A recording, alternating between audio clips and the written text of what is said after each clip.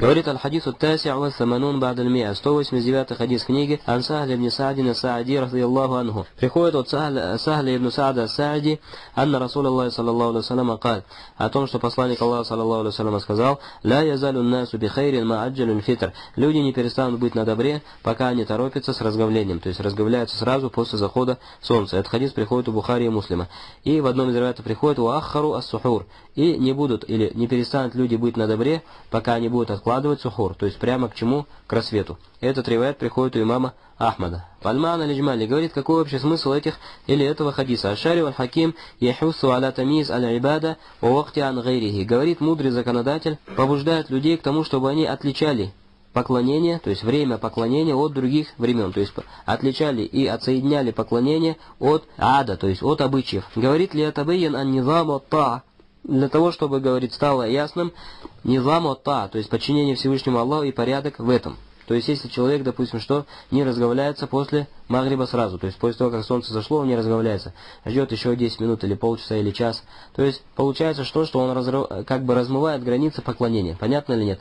Что делает перемешивает поклонение с обычаями своими. Как будто бы он держит уразу просто, просто по обычаю, хочет поголодать, допустим. А не связывает этот вид поклонения шариатскими границами. Шариат ему что сказал? Кушай до рассвета, после заката разговляйся. Он что делает? Не кушает до рассвета, заканчивает за полчаса до рассвета. После заката не разговляется, еще ждет полчаса, допустим. То есть что делает?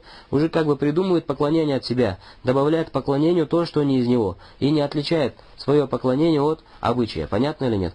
Говорит, Поэтому, говорит, фиим тисалихи ауамирихи, Всевышний Аллах Субхану желает, чтобы был определенный порядок в развлечении поклонения и развлечении того, что человек делает это как выполнение приказа Всевышнего Аллаха. Валюкув биа инда худуди, чтобы человек приостанавливался у границ поклонения. Понятно или нет? Чтобы не делать что-то от себя. Но как пришло в ограниченных границах так поступал относительно поклонения.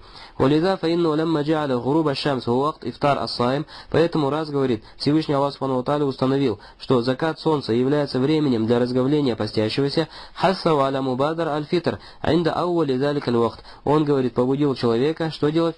Срочно разговляться сразу при наступлении этого времени. У Ахбара, и к тому же пророк, саллаллаху алейhi сообщил, «Анна наса ла язалюна бихайр», что люди не перестанут быть на добре ма аджалюль фитра, пока они будут делать так, то есть пока они будут торопиться с чем с разговлением и будут соблюдать эту шариатскую границу. «Лянну бидалика юхафизуна аля сунна», потому что этим самым они будут сохранять сунну пророка, саллаллаху алейhi вассалям.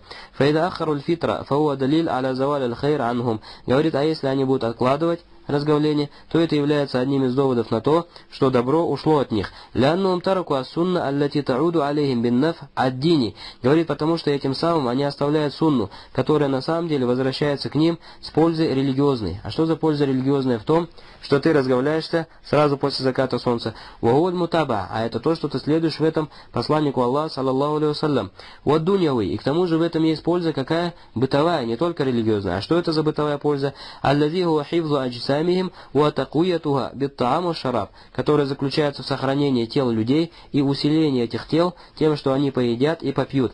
Аллазени татук амфусухум илейхима, говорит к еде и питью, душа человека что сделала, или тело человека, татук, как бы сильно хочет их, сильно хочет еду, еду и питье сразу после заката солнца. Понятно или нет? Значит, если человек разговляется вовремя, сразу после заката солнца, он достигает этим самым две пользы. Польза религиозная и польза бытовая. Религиозная польза в том, что он следует в этом за посланником Аллаха, саллаллаху алейhi Польза бытовая в чем? В том, что он усиляет свое тело едой и питьем, и не мучает свое тело, так, а дает телу насладиться теми правами и теми разрешенными вещами, которые Всевышний Аллах Субхану разрешил, после того, как оно подчинялось Всевышнему Аллаху, выполняя поклонение. Говорит Майухаду мин аль-хадид. Что берется из этого хадиса? Первое стихбаб та'аджил аль-фитр иза тахакака гурубы шамс бируя ау хабарин сика. Говорит, желательность побыстрее разговляться, если, говорит, мы уверены в том, что солнце закатилось, тем, что видели, как солнце закатилось, или об этом нам сообщил крепкий человек. И в крепкого человека в это понятие вступает или входит также что? Также муаззин, который следит за временем, и известно, что он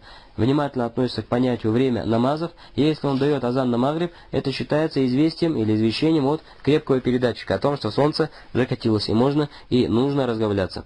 Второе, инна та'аджиль аль-фитр далил аля бака аль-хайр инда ман аджаляху. Говорит, второй полезный момент, то, что когда человек торопится с разговлением, это является доводом на то, что в нем есть еще добро, в нем осталось добро. Вазаваль хейр амман аджалаху. И наоборот, если человек откладывает фитр, то есть откладывает разговление от его изначального времени, то это является доводом на то, что добро от него ушло. Третий полезный момент. Аль-хайруль мушар илей фил хадис ходит тебя сунна. Говорит добро, которое указано или на которое указано в хадисе, это следование сунни. Ма анну мин махбубат ан-нуфус. Вместе с тем, что это любимо людям. Смотри, Некоторые думают, что следование сунни это всегда то, что не нравится душе человека. Не обязательно.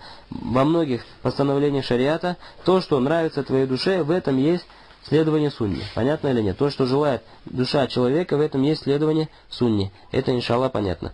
Говорит четвертое. Аль-хадис мин, мин муаджизатин наби, саллаллаху алейhi Этот хадис является одним из чудес пророка, саллаллаху алейhi Почему? Фаинна та'хир алифтар амаля бихи шиа. Говорит, потому что известно, что откладывание разговения, то есть от времени заката, является действием кого? Шиитов.